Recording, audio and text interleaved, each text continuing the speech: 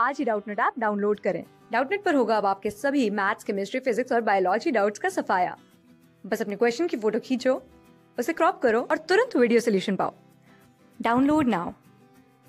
so the is की an organ pipe open from an organ pipe open from both ends produces 5 beats per second when vibrated with source of frequency 200 hertz it means की एक organ pipe है जो कि दोनों end से open है। तो अगर इसकी जो सोर्स ऑफ़ फ्रीक्वेंसी 200 हर्ट्ज रहती है तो ऑर्गन पाइप ये प्रोड्यूस करती है फाइव बीट्स पर सेकेंड और हमारे पास एक the second harmonic of the same pipe इसी सेम पाइप की जो दूसरी हारमोनिक होगी it will produce ten beats per second with a source of frequency 420 hertz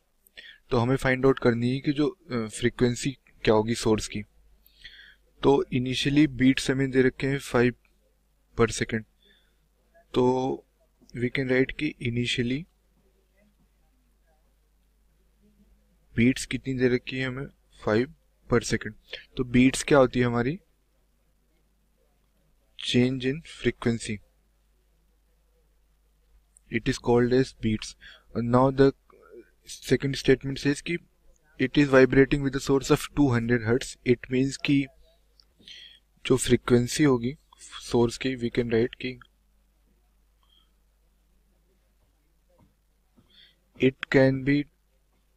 200 plus five और 200 माइनस फाइव क्योंकि चेंज इन फ्रीक्वेंसी होती है मतलब कि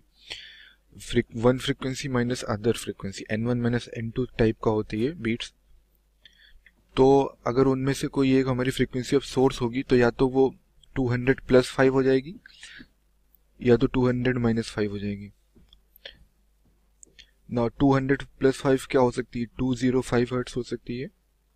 या तो 200 माइनस फाइव हो सकती है विच इज़ 195 हर्ट्स हो सकती है। ना सेकेंड केस में क्या हो रहा है कि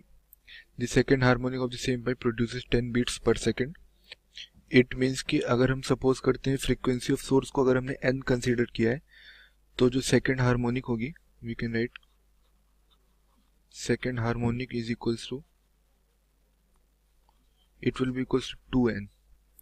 और जो बीट्स इससे एसोसिएटेड है इट इज़ टेन तो इसका मतलब ये हुआ कि जो टू एन है it can be equals to इसकी सोर्स ऑफ़ फ्रीक्वेंसी 420 ट्वेंटी है तो सिमिलर वे में two n will be equals to 420 plus minus ten